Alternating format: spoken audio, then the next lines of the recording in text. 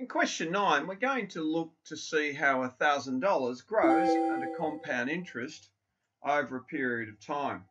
Now obviously for zero years, it's $1,000. Now for five years, it's going to be 1,000 times 1 plus 0.09 divided by 12, all the power of 60.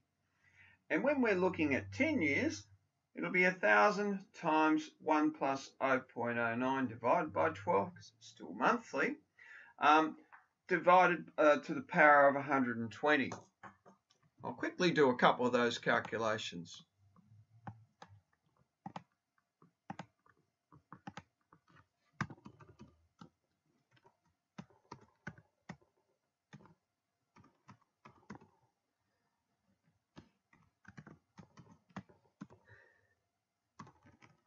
So that's 1565,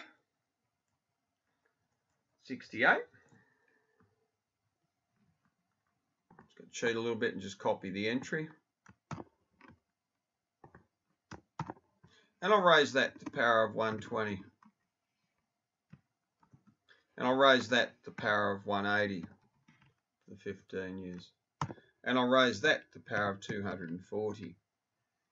Now, in a moment, I'll just transfer those figures to the table. Now, you can see in the graph this way, I'll just round that to 1566.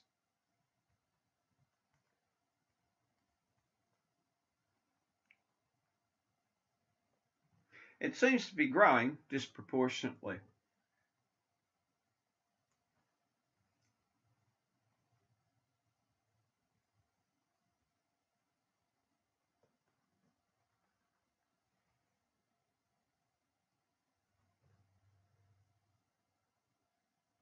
And you can see that exponential upwards hook.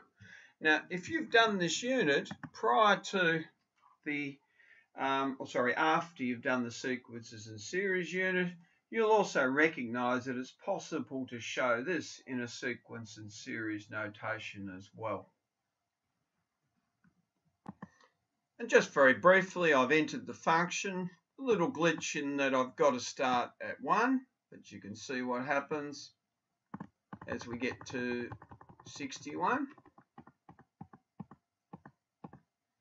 We've got that 1065 or $66.